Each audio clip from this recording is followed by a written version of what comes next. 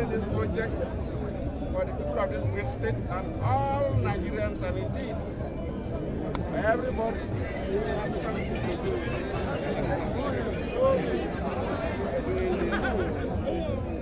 to honor the state, our great leaders.